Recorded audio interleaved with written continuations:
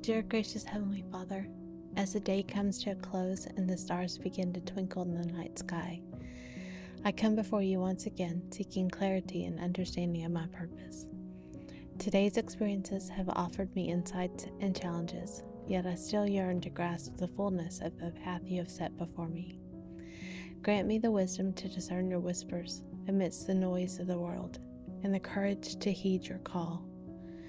Help me to see the signs and synchronicities that point me towards my true purpose and to trust in the unfolding of your divine plan. Guide my thoughts and actions as I reflect on the day's events, revealing to me the lessons they hold for my journey forward.